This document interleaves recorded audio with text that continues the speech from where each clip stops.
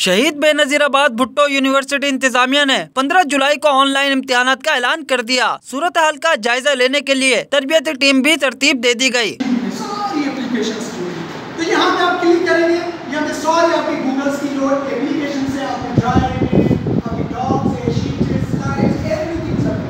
मगर हमारे काम की चीज़ क्या है? गूगल क्लासरूम है तो डायरेक्टली गो टू क्लासरूम यहाँ कोरोना के बाईस लॉकडाउन की वजह से धर्म भरम होने वाला तालीमी निज़ाम बेहतर होने लगा। शहीद बेनजीराबाद यूनिवर्सिटी के वाइस चांसलर ने ऑनलाइन क्लासेस के बाद ऑनलाइन इम्तहान का ऐलान कर दिया। यूनिवर्सिटी इंतजामिया के मुताबिक vice chancellor professor doctor Amanat Jalbani की जानब से इम्तिहान के ऐलान के बाद उस को इम्तहान देने के अमल के बारे में तरबियत देने का आगाज़ कर दिया गया है।